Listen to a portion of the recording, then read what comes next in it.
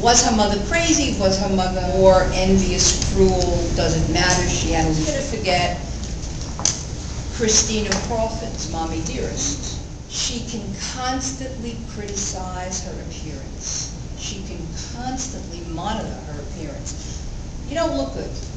You don't look good in that dress. Have you had your hair cut lately? Why do you have to look the way you look? You know, ultimately wears down the soul of the girl. Gets pronounced mentally ill.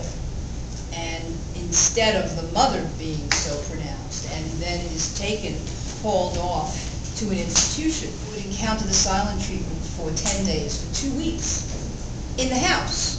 And it would only end if and when the daughter had wept enough and apologized enough and asked for forgiveness, begged for forgiveness. So uh, the mother will, that it's proof of love that she says you're stupid, make every wrong decision, you've chosen the wrong friends, you're in the wrong crowd, you, you, you're majoring in the wrong subject, you've chosen the wrong career, your husband is the worst thing you've ever done. So she'll bully the daughter, bully her, and racial and religious differences. There are many immigrant daughters and mothers, many racially marginalized daughters and mothers are tighter with each other. They have only each other to depend upon, and they watch each other's backs. Not always, believe me, not always, but there's a little bit more of it that came through in the interviews than with white women in America. Uh, it was a writing workshop, and I did it in Italy with American women who were artists and writers.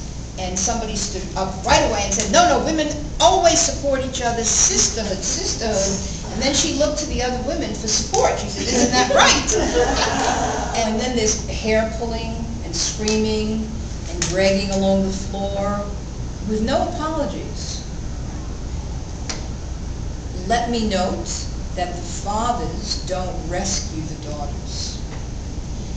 Just as in fairy tales, when the evil queen is gonna lock up Rapunzel, put a curse, sleeping curse, hundred years, all the so-called good men are out to lunch. They're absent. They're not being heroic interveners, which does mirror a good deal of experience. Imagine how great our need is to feel safe with our mothers, to feel mothered by our mothers, especially if we're not being well mothered.